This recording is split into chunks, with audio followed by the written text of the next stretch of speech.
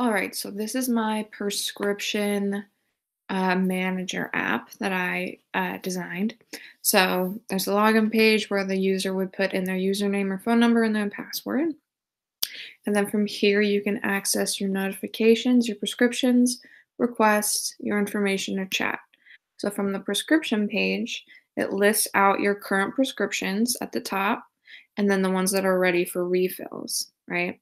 And then from here, you can also click on a medication to learn more about uh, your actual dosage and then more about what the medication does.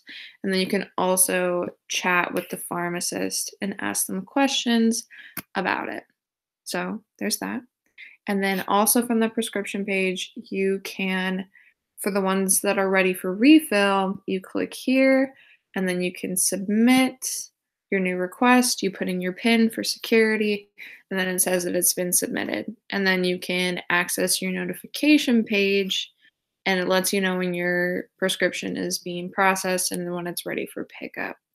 Um, also, you can, yeah, right. So you can access your notifications from up here too.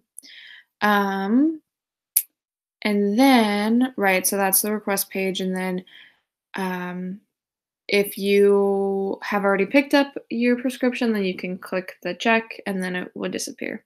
There's also your profile page. There's me um, with your information in your store, which you can edit. And that is how that works. And this is the mobile side, which is um, the patient. And then there's the tablet app for the actual pharmacy tech.